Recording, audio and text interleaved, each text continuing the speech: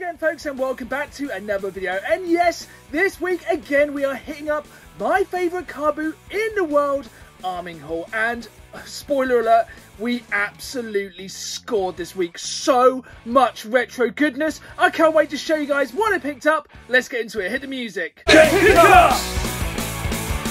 Food in the Adventure! Rush Trips! Not get your head! Oh yeah! If you've watched the channel for a while, you'll know how much I love this car boot and how much of this collection I see around me I have picked up from this very car boot. So every week I'm super excited to go when the weather and you know just life in general allows it. And boy, this week I picked up some amazing stuff. I cannot wait to jump into it. But before that, I just want to remind all of you folks watching to please subscribe to the channel. It does really help. I put out new videos all the time and every Saturday live at 5. I really want you folks along for my game hunting adventures. So, hit the like button, hit the subscribe button. Now, let's get to car booting. Yeah. Here we go then folks, it is bright and early but it is car boot time and disclaimer, I was in a pretty bad mood this morning as I had slept pretty badly the night before because like a kid at Christmas I couldn't sleep because I was pretty excited about the car boot the next morning. You know, don't judge me, if you haven't got passion you shouldn't be out there trying to add your game collection, I just love it and you know, I am I'm just a child at heart. But we were straight in, it had rained a little bit on the way to the car boot which was pretty disappointing and did worry me the entire thing was going to be cancelled. As you can see here, this table was pretty wet. I was pretty tempted by this copy of Guitar Hero Live. I have got it for the Xbox One. I do think these games are going to go up in value, but I did hedge my bets. It was early doors. Now this is a car boot store that knows how to drag me in. It has all my favourite things. Xbox controllers, Link figures, Space Invader stuff, and even a Star Wars figure. And yeah, prices were really good on this. I couldn't resist that little Zelda figure. Thought that was very, very cool, as well as a little Space Invaders figure. I'm always looking for little knickknacks to put on my shelf. I did also ask about the controller, but as I said earlier in the video, it had rained this morning, which did kind of put me off. And you know, I, this is going to sound really hypocritical later in the video, but I don't very often buy anything electronic at the car boot. That might sound a bit weird now, but trust me, later on, it'll all become clear. So I said at the start of this video, this was a very retro-inspired car boot, and it doesn't get more retro or classic than Biker Mice from Mars. 50p, gotta pick it up. Looking back, I must have been in a pretty bad mood this morning as I did pass up a few things I probably should have picked up, such as this Mario kind of plushy keychain thing. But, you know, I think I was just kind of really looking for the big ticket items, which I did find later in the day. This next store is definitely the definition of having to pick through stuff. There was so much stuff, but I knew there was going to be something cool hidden among there. There was a couple of DS games. There was also this Kylo Ren lightsaber, which, if you've been watching the videos for a while, you'll know that nearly every car boot I either pick up or get tempted to pick up a lightsaber. This one didn't quite pass my test of what I think makes for an awesome lightsaber. It's more kind of solid plastic rather than light up and didn't have any sound effects, so I did decide not to pick this one up this time. General Grievous will not approve. So far at the car boot, there had been a very distinct lack of actual games, so it's cool to finally see some 360 games, even though there was nothing too exciting to write home about. Dirt series is always a game I can never remember which ones of the games I have, but I did decide to leave these behind. They're a couple of quid each.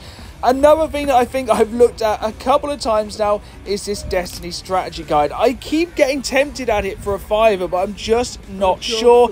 Maybe one day I'll see it another week and should just put the price down ever so slightly, but ah, you know, maybe I should just bite the bullet and just pay a fiver. You know, it's a decent guide, want to add it into the collection. I've said it once and I'll say it again. I literally think Ubisoft will slap the Assassin's Creed logo on anything and sell it. And this must be one of the most horrific pieces of gaming merchandise I have ever seen. And I think it was two quid, and just for the fact my wife absolutely hates it, I had to have it. The only problem being though with grabbing that Assassin's Creed lamp meant I had to carry it around for the rest of the car boot, which definitely gave me some weird looks. I did look at this Xbox 360 controller, but the sticks were no good. But these games, this is what I mean. This is how wet it had become. Games were sticking together. I guess some people must have covered their stalls up and some didn't, but that rain didn't deter me. I was going to push on through the rest of the car boot. And my patience paid off on the very next stand where there was this boxed PS1 with loads of peripherals with it as well. I was very, very tempted by this, but it was 25 quid and I had no way of knowing if it was working, so I did pass it up, even though I may regret it down the line. But also on the same stand, they did have some pretty cool retro bits again. So a complete PS1 game, maybe planned, but also these vinyl, which I've I think they're like just basically vinyl pops, but I am quite a fan of He-Man and the Masters of the Universe, so I did pick that up for a quid, and also managed to pick up this Monsters Inc. game for the PS1, which was complete. Sadly, it was a platinum label, but a complete PS1 game, and that vinyl figure for two quid. I'm pretty happy with that as a bit of a pickup. You know, it seemed like my luck was definitely getting a little bit better, so I kind of kept going because I knew I was just steps away from something awesome. How much is that one? I was pretty surprised I came to the next stall and there was again another retro console. This time the PlayStation 2, but this thing was wet. You can literally see me wiping the water off my hands. It was super cheap, but seriously, a console that damp. What are the chances of that actually surviving like that kind of rain? But yeah, sad to see, but I kept going, pushing through. I like this guy had just a stall of M&Ms, and it was also getting to kind of the start of the car boot, where normally people go in straight away, and I kind of thought, well, that's probably the end of the cool stuff. So I was kind of like, oh, it's been a bit of a disappointing car boot. There's not really been much, but then right near the end of the car boot, I came across this stand. And just looking at it, I knew there was going to be some amazing stuff. The eagle-eyed of you might have spotted at the corner of your eye a very special sum. The first thing I did was jump into the games. I like to kind of get an idea sometimes of how much people are charging for things. And I saw a copy, a couple of these PSP games that were sealed. So I don't like very often pick up sealed games because I mainly want to play my games. But if I can get sealed stuff for a good deal, you know I'm going to pick it up. You know, either to flip or just to keep because it seems like the sealed game market is just crazy in a minute. So, you know, if I'm out there and it's cheap, why not just get involved? It's not for me, but I know a lot of people out there do collect sealed stuff. So if I've got the option, I might as well pick it up. But this stand had some really cool stuff. This guy was super sound, gave me some really good deals, and yeah, I was actually blown away by how good his prices were. And yeah, you're going to see this deal starts to get a little bit crazy. This stand must have had one of the most random selections of stuff I've seen at car boot for absolutely years. There was games for consoles, I just don't really even know what they are. If it goes kind of pre-NES and Master System, my mind is not that educated on the kind of older stuff. Like it looks like kind of Acorn, BBC, kind of stuff like that. When it gets to cassette games, I'm not as knowledgeable, but it was really cool to see some stuff you just don't see all the time. And I had to have a look at what turned out to be a database games computer. I have no idea what it was, but I liked the artwork. And then behind it was the Sega Pico. This is a pretty rare console. It was not in the greatest of condition of all time. It had no power lead, it had no TV lead, but I was intrigued by it because if you see something you don't see all the time, that is the kind of thing you want to pick up if the price is right. That's maybe down two quid. correct. Two quid. That's right. I picked it up for two quid. Like, I don't care if it doesn't work. For two quid, I am willing to roll a dice. And I managed to bundle together a few other bits from this stall as well. After this, we did head to another car boot. So if you've seen my previous video, this was the car boot that was the trial by car boot and it just seems like it hasn't taken off at all. This was the same day, and the Arminghall car boot was pretty busy, but this one was absolutely dead. These vintage games were pretty cool. We did look at his intercom house phone, jokingly saying about being able to communicate with the games room, but you know, it had felt like it was going to be a bit of a rubbish day, but in the end, it did end up pretty well. I guess that is just the luck of the car boot. That really was a hell of a ride this week. I really thought this car boot was going to be an absolute write off, but thankfully I managed to pick up some amazing bits. It just goes to show you can't give up until the right end of the car boot as you never know, as we just saw, what we're going to come across. So let's go through those pickups. Let me know in the comments down below if you used to watch Biker Mice from Mars when you were younger, if you still watch, because it is an absolute banger of a cartoon. So I knew I just had to pick up this money box. This is going to look really nice on the shelf. for just 50p, I think that is a pretty good start to our retro hunting bargains. When you're looking around a boot, it's not always the massive items you're looking at. Sometimes it's cool to find little knickknacks to help decorate your games room, such as these two little items which I picked up for just 50p each. First of all, we have this awesome little Space Invaders kind of ornament. It's nice see-through plastic. And this little Link figure, which, correct me if I'm wrong, is from Majora's Mask. And, you know, just little bits like this I like to add around the games room, especially when they're just 50p each. Let's get into some of the video games we picked up this week at the boot. There wasn't tons of stuff there, but I still managed to pick up a few cool bits. First of all, we have these copies of Talkman. So this is brand new and sealed, both of these. I paid a pound for both of these. You know, I don't pick up a lot of sealed games, but when they're cheap, you might as well. So, if you don't know, Talkman includes a microphone in the case, and then what this does, you speak into it using your native tongue, and it translates it into different languages. So, you know, if you're off traveling around the world using your PSP, you can talk to people in their language. Next up, we have Transformers Revenge of the Fallen, and when I picked this up, I didn't realise, I don't if the camera does it justice, you can definitely see it inside, how incredibly dirty this game actually was. Like, I must have just been kind of grabbing. It is absolutely disgusting, so I'm definitely going to have to get a fresh case for this one. I think I picked it up for 50p, and you know, it's about a pound game in CEX, so nothing massive. Finally, we have Monsters Inc. Scare Island for the PlayStation 1. This is complete. It is the Platinum copy, but then again, I did pay just a pound for this. So, you know, once again, not the most desirable game in the entire world, but if you can pick up PlayStation 1 games complete in the box for a quid in 2022, kind of rude not to. The final game I picked up this time is Street Hockey for the Atari ST.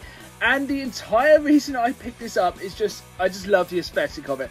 I love kind of the old school look of it. I like the box art. I like the fact it's in a big box. I don't even own an Atari ST, but something about this game just spoke to me. Someone I've never seen in the car boot. Very rarely see boxed Atari ST games. Had to add it into the collection.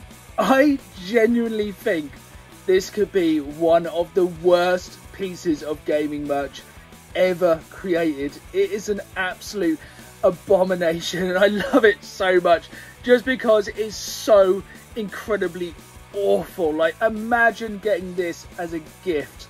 But for nothing else, every time I look at it, it makes me laugh. And for that alone, it is worth the one pound price tag. It turns out this might actually have been the bargain of the day. This, I'm going to just say they're vinyl. Master Universe pack with He-Man and Traptor cost me just a pound. So these vinyls are made by Funko, who we all know make Funko vinyl pops. I don't really know why they've made kind of their own competition. This thing was just a pound. I'm a huge He-Man and Master Universe fan, so I decided to pick it up. These are selling at the moment on Amazon for well over 20 quid. So paying a quid for this could have been the best pickup of the car boot if it were not for our last two items. This is definitely one of the weirdest things I've picked up for a while. I'm just a bit of a sucker for these old school computers just because of the artwork, if nothing else. But I'm kind of reaching out to some of you folks watching if you can help with identify this thing. I know very, very little about it.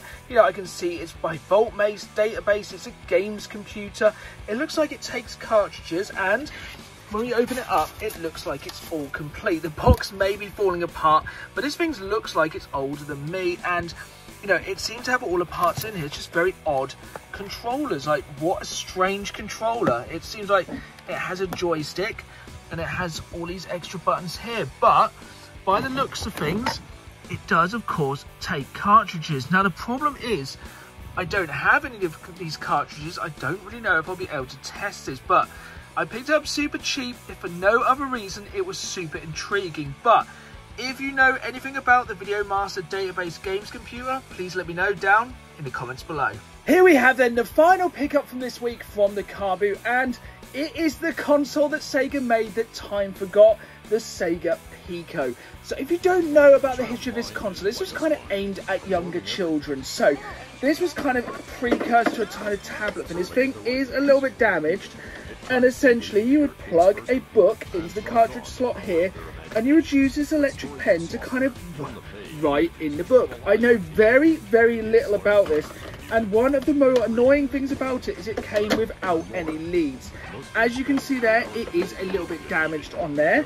I have no way of knowing if this works until I can get a TV lead for this. So I will be chasing that up. So remember to subscribe and we will see in the next few weeks if this actually works. But at the end of the day, I picked this up for two pounds. It may be a little bit cracked up here and cracked here, but if nothing else for the intrigue and just as an absolute weird curiosity for the car boots for two pounds, this kind of made my week. There we have it then folks, that kind of shows you why you should never give up at the car boots. You never know what is literally round the corner or what you can stumble across. And for me, that is the absolute joy of game hunting and car boots especially. You never know what you're going to get. But remember to hit the subscribe button. We will find out in the next few weeks if that Sega Pico works. And if it does for £2, that is an absolutely amazing pickup. Thank you for watching. I hope you've enjoyed the video. If you did, remember to leave a like, subscribe as I put new videos out every Saturday live at 5, as well as bonus content throughout the week, and I don't need to miss it. Thanks for watching once again, and as always, keep playing the game. See you all soon.